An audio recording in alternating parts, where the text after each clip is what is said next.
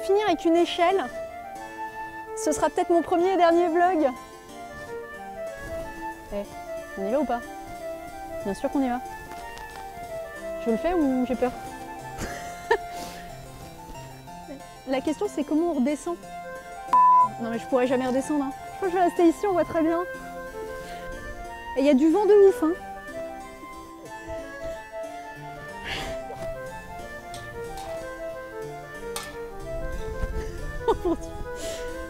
Comment on sort de ce gourbi Je crois que j'ai niqué ma veste.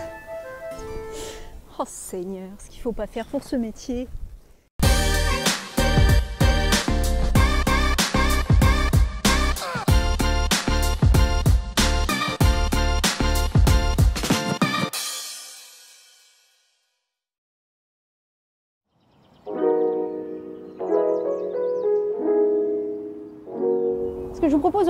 M'accompagner faire le tour de la vieille ville de Nancy.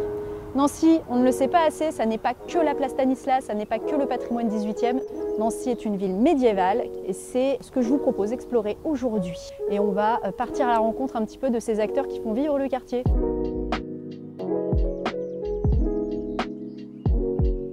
Alors on est au cœur de la vieille ville de Nancy ce matin. On est au Café Jeanne, qui est un café qui a été récemment repris, complètement euh, restauré, esprit bistrot.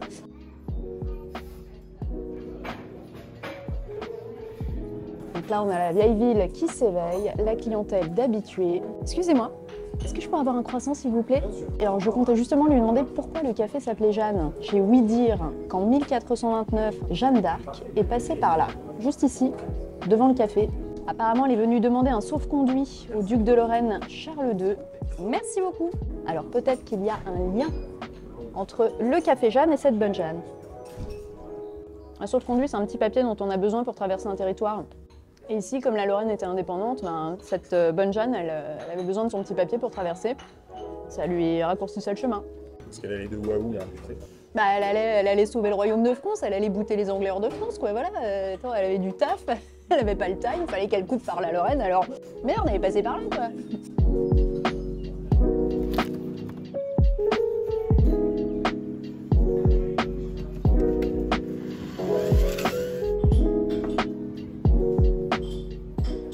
Bon, alors on a demandé pourquoi le café s'appelait Jeanne. En fait, rien à voir avec Jeanne d'Arc. C'est juste euh, une personne qui s'appelait Jeanne. Hello, darkness, my old friend. Alors les croissants viennent de la pâtisserie à côté, une pâtisserie euh, d'origine italienne qui s'appelle Cadici. Et alors ce sont les seuls en ville à faire des croissants italiens. Ils brillent au soleil. Il est recouvert d'un petit glaçage qui colle au doigt. Vous n'en voulez pas? Un vin?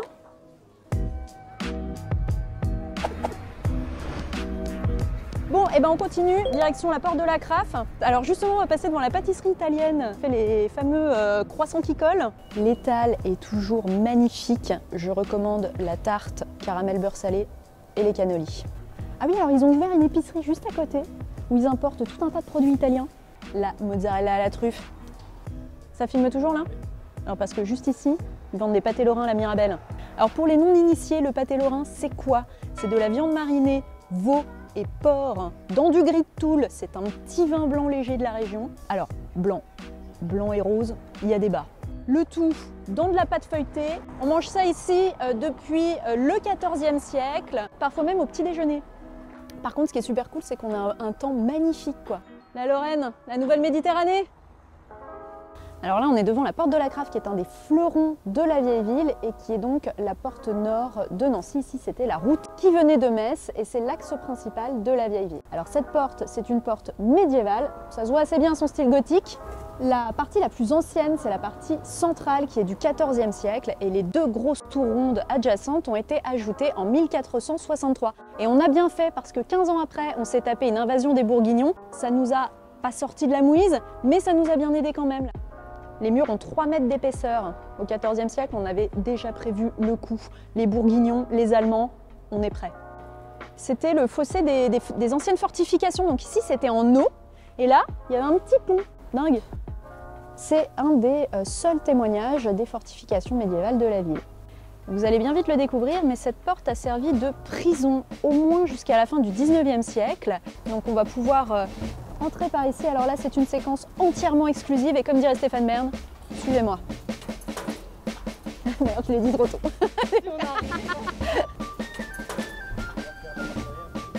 ouais, oui, oui, oui, on va pas faire le technicien hein, parce que moi je sais rien faire donc. euh. La petite cabane au fond du jardin.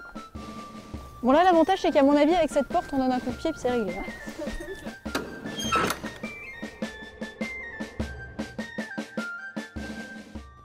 Waouh Hein J'espère qu'on va pas se prendre une crotte de pigeon de l'espace sur la tête. Oh, ah ouais, alors avec les cellules numérotées. Ouais, on a les cellules qui sont numérotées avec quelques, quelques tags. Ouais. Inscription religieuse apparemment. 14 janvier 1566. On a tout un ensemble de plaques de cheminée qu'on appelle en Lorraine des tacs et qui sont en fonte et qui permettaient de faire rayonner la chaleur. Bon là c'est un petit peu difficile à identifier, on a des costumes euh, de la Renaissance, c'est hyper intéressant. un petit peu d'humidité. bon, next. Alors, cellule numéro 5. Je pense qu'on était quand même relativement aux normes en termes de sécurité. Double porte, petit passeport pour le plateau repas, tout confort. Il y a une chaîne. Il y a une chaîne. Je ne l'entends plus. On a perdu la guide. Oh là, bah, il y, a une- il belle porte cloutée déjà. Ah oui, là c'est les cachots. euh, Là c'est le carré VIP. Les portes. Les portes quoi.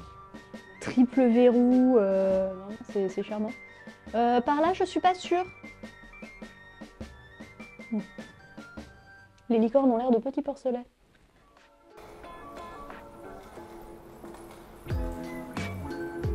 Alors ici, on entre dans le quartier de la citadelle au Moyen Âge. On sortait de la ville, on était là dans la campagne, mais euh, à la fin du XVIe siècle, avec le contexte des guerres de religion, l'insécurité grandissante, les ducs de Lorraine ont fortifié la ville avec un très beau réseau de fortifications en briques vernissées. Et donc, ils ont bâti la porte que l'on voit là-bas pour consolider la porte de la Graffe. Et au XVIIe siècle, lorsque les Français ont occupé la ville de Nancy, notamment les armées de Louis XIII, eh bien ils ont décidé de faire de ce quartier une citadelle avec deux bastions défensifs pour protéger les armées françaises des Nancéens qui avaient quelques griefs contre eux.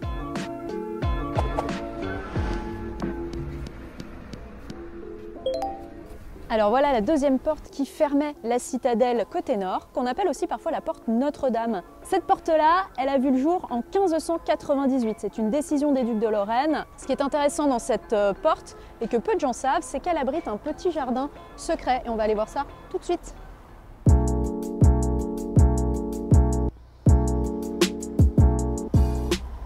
Voilà l'entrée du jardin de la citadelle, très confidentielle. Pour le moment c'est un peu sombre et ça sent le pipi, mais ça va s'améliorer. Alors c'est vraiment un havre de paix, une petite parenthèse verte au cœur de la ville. Moi c'est là que j'ai amené mes amoureux euh, il y a de ça quelques temps. La particularité de ce jardin c'est donc qu'il est euh, vraiment euh, en hauteur sur les anciennes fortifications. Il a été aménagé pour présenter en fait un petit jardin médiéval avec des carrés de plantes aromatiques et médicinales. Aujourd'hui il est très bien entretenu par la ville de Nancy. On y fait des chasses aux œufs au moment de Pâques. Alors là je crois que les gosses euh, malheureusement sont déjà passés dimanche, il reste plus rien. Il n'y a vraiment plus un seul œuf, quoi. Ils ont rien laissé. Mais regarde-moi les trous qu'ils ont laissés, ces gamins. Tout ça pour récupérer un Ferrero, quoi. Alors on continue notre exploration de la ville vieille de Nancy par cette église qui est la plus ancienne encore debout actuellement à Nancy, une église de la fin du 15e siècle. Peu de gens la, connaissent ou ont la curiosité de, de pousser la porte. Alors cette église, elle abrite rien de moins que le tombeau des ducs de Lorraine. Elle est considérée comme le Saint-Denis lorrain. Alors on va tout de suite aller voir ça. Alors voilà cette église des Cordeliers, c'est une nef simple, donc c'est vrai qu'à l'intérieur, euh, quand on sait le lieu prestigieux qu'elle a été, euh, on s'interroge un petit peu, on se dit, mais enfin, euh, le décor est quand même très simple. C'est une église qui a euh, souffert beaucoup à la Révolution française, mais à l'origine, les murs étaient entièrement couverts de couleurs. Et surtout, cette église, elle était beaucoup plus lumineuse et elle était entièrement décorée de vitraux qui ont disparu également à la Révolution française. Il y avait également des fenêtres de ce côté-ci qui ont été euh, murées au moment où le couvent adjacent a été rehaussé d'un étage. Alors, on va pouvoir avancer un petit peu et découvrir quelques œuvres du musée lorrain, du Palais des Ducs de Lorraine qui se trouve juste à côté Malheureusement, ce musée est fermé pour quelques années pour restauration, mais il y a quelques œuvres qui ont été installées à l'intérieur de l'église. Voilà le seul tombeau d'origine de l'église qui est le tombeau de René II. Alors euh, c'est un tombeau qui a été quand même lourdement restauré au 19e siècle, hein. donc on y allait franco sur le rouge, le bleu, le doré, hein. donc il ne faut pas s'étonner des couleurs. Il ne faudra pas s'étonner non plus de l'espace vide, puisqu'à l'origine, on le voit euh, très bien sur ces gravures, se trouvait là une statue du duc de Lorraine priant la Vierge. Tout ceci a disparu à la Révolution française. Les révolutionnaires souhaitaient mettre à bas les symboles du pouvoir monarchique et de la religion. Et ici, bah, c'était coup de bout. Juste derrière le maître-autel, il y a une petite planche ici qui n'a l'air de rien, mais qui conduit dans une crypte sous nos pieds se trouvent eh bien, 63 membres de la famille régnante du duché de Lorraine. Ils sont enterrés très simplement vraiment dans des caisses de bois sous la chapelle que l'on va aller explorer. Mais ce tombeau est privé euh, puisque la famille de Habsbourg-Lorraine existe toujours aujourd'hui et il n'y a que eux qui donnent l'autorisation de descendre. On va aller faire un petit tour euh, dans la chapelle. Cette chapelle, elle a vu le jour euh, dès 1608. C'est un projet du duc de Lorraine Charles III. On a percé un trou ici dans le mur nord de l'église et s'est élevée cette chapelle au cours des 17e et 18e siècles. Alors c'est un lieu euh, assez prestigieux et qui inspire le respect. On est entouré ici de cénotaphes, ce sont des tombeaux vides, mais ils signalent un lieu de sépulture. Et les deux modèles de cette chapelle sont la chapelle des Valois dans l'église Saint-Denis, près de Paris, qui a aujourd'hui disparu, et la chapelle des Princes dans l'église San Lorenzo à Florence. Donc ici, il y a un petit peu d'Italie euh, qui a été euh, importée euh, dans cette chapelle.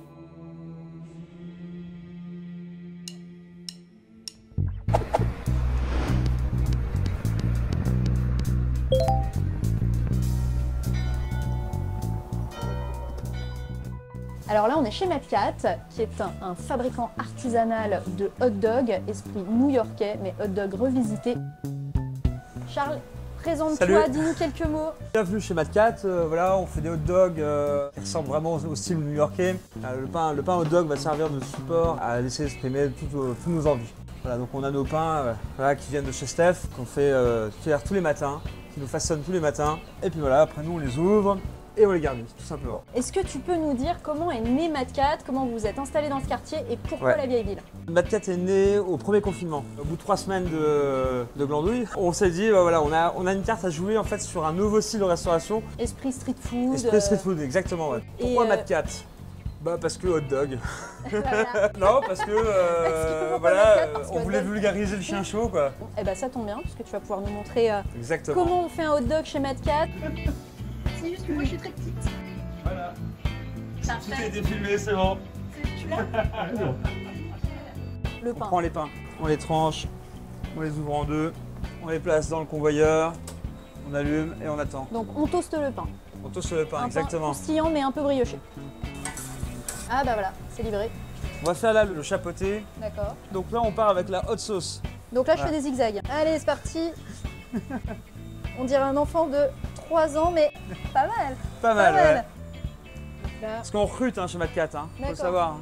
Alors moi je peux, je, peux, je peux y aller mais je fais un hot dog par heure par contre. Comme ça. Voilà, c'est des chines de porc qu'on fait cuire au vin, aux épices, au citron. Ah ça c'est la partie que je préfère, c'est les oignons fritis. Et là, on a dessus nos oignons pickles. Alors ça, c'est les oignons qu'on fait mariner, des oignons rouges, un peu de coriandre, du guacamole. Ah, Alors ici, on fait un au gu- au le jeté guacamole. de guacamole. Ouais, exactement. Parfait. Et voilà, Magnifique. le chapeauté. Tout plaqué, servir des hot dogs.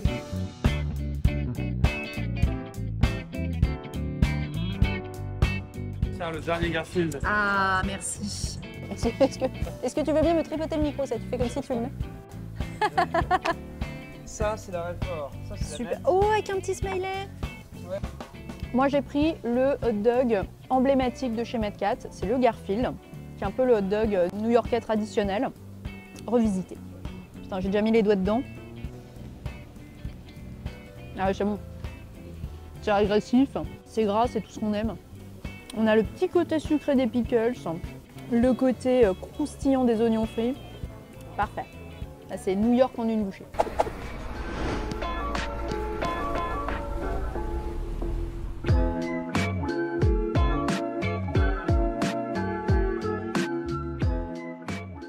Devant l'ancienne entrée du Palais des Ducs de Lorraine qui occupe quasiment la moitié de la grande rue de Nancy.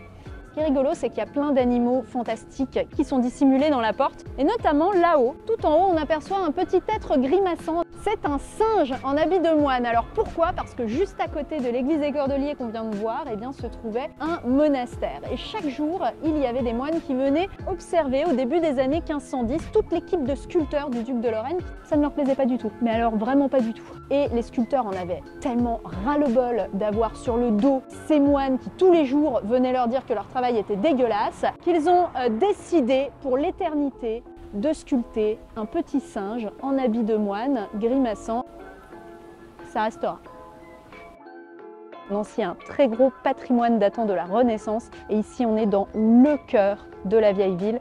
Tout autour se trouve un ensemble d'hôtels aristocratiques qui sont pas piqués des. Parmi les plus beaux ici, l'hôtel des Loups qui date du début du XVIIIe siècle. L'architecte qui est intervenu ici, c'est Germain Beaufranc, euh, qui a fait ses armes auprès de Jules Ardouin-Mansart à Versailles. By the way, au XIXe siècle, il a été transformé en usine de pantoufles. Alors ici, la noblesse lorraine faisait construire des hôtels particuliers de très belles demeures pour être au plus proche du palais ducal et donc on en a tout un ensemble. Par exemple celui-ci, qui est du même architecte que l'hôtel des Loups. Alors parmi les plus beaux hôtels particuliers de Nancy, vous avez vu l'hôtel des Loups et voici l'hôtel d'Aussonville qui est un des fleurons de la Renaissance en Lorraine. On peut se déplacer et constater ici le mélange parfait entre le gothique flamboyant de la fin du Moyen Âge et déjà le style Renaissance en Lorraine. Alors ici c'est simple, ils se sont pas embêtés, ils ont fait un premier étage gothique et un deuxième étage Renaissance.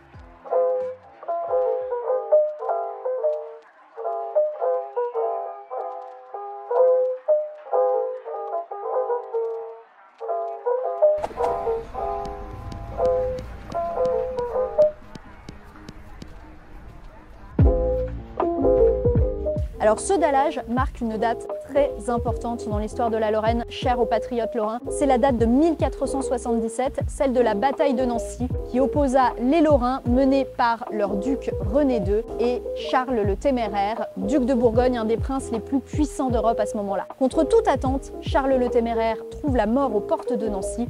On retrouve son corps quelques jours plus tard, à moitié gelé, bouffé par les loups, et donc le duc de Lorraine fait ramener son corps à Nancy pour lui rendre les derniers honneurs. Bon bah alors je sais pas vous, mais moi cette petite promenade ça m'a ouvert l'appétit. Alors ce que je vous propose c'est de partir à la découverte d'un petit concept store qui fait également café, un café euh, à l'ambiance un petit peu scandinave qui se trouve juste derrière nous, ça s'appelle Bluen et on y va.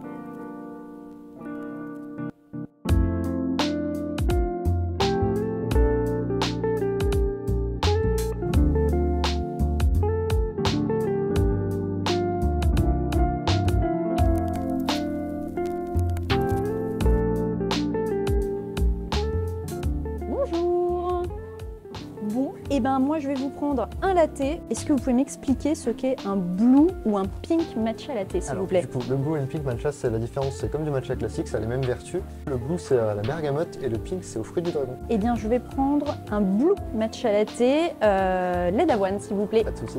Qu'est-ce que vous me conseillez avec ça? Alors, du coup, on a un cake sirop d'érable, un cake citron, un marbré, un cookie fruits rouge chocolat blanc et un cookie chocolat. Ce sera un cake sirop d'érable pour moi s'il vous plaît. Parfait. Et les pâtisseries, vous pouvez nous dire d'où elles viennent vous Alors, elles viennent de thé citron, c'est euh, Rustan. D'accord, ok. On ira une prochaine fois.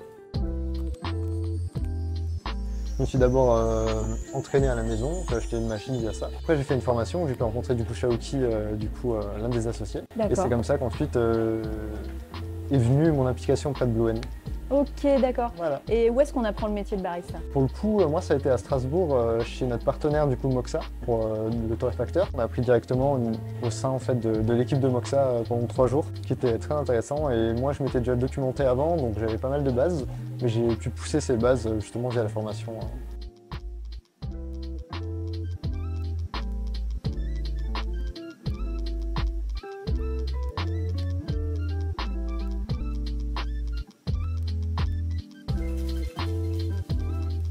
Mais c'est magnifique déjà. hein.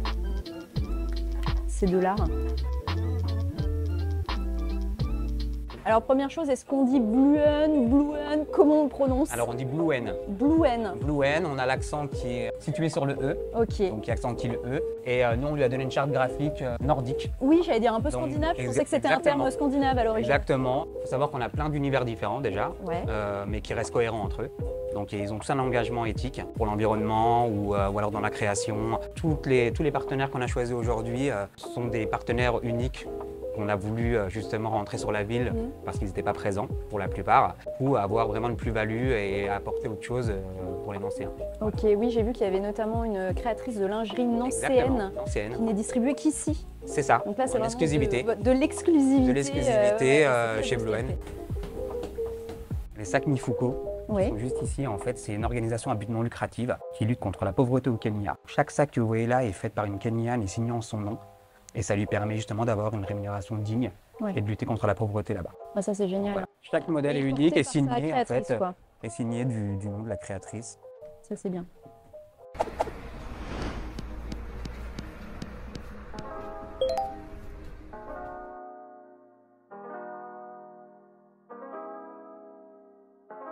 Alors là, je viens de récupérer les clés d'un lieu exceptionnel. C'est une belle fleur qu'on nous fait, une grosse exclusivité pour vous. On va entrer dans l'arc sur la place Stanislas. Attention les yeux, c'est parti. Quelqu'un là Bah, je, je- je vais couper l'électricité de toute la place. hein. Alors, je ne sais pas où on va. hein. Ah Alors attends. Alors ça doit être cette clé, de toute façon il n'y en a pas d'autre. Il y a un fil électrique qui pend, adieu.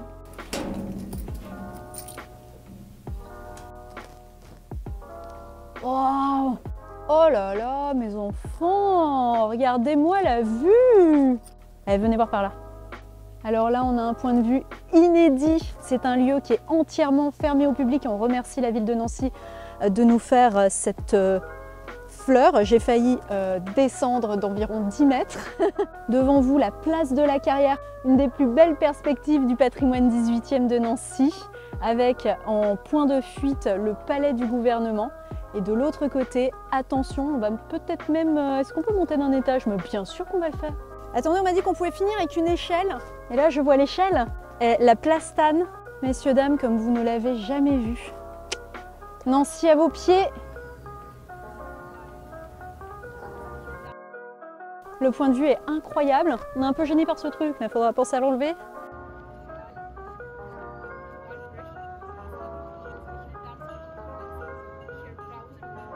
Alors d'ici, on voit très bien certains lieux où nous étions ce matin, comme la porte de la Craffe et ses deux tours. On aperçoit également la flèche de la tour de l'horloge du Palais ducal, et puis évidemment majestueuse, la basilique Saint-Ève. Bon ouais, j'espère que cette petite promenade en ma compagnie euh, vous aura plu à la découverte euh, de la vieille ville de Nancy. On se retrouve, je l'espère, très prochainement pour de nouveaux euh, épisodes, à la découverte du patrimoine et des acteurs des territoires. Si vous souhaitez suivre notre actualité, n'hésitez pas à vous abonner à nos réseaux sociaux et on se retrouve bientôt sur la chaîne d'Agora. Ciao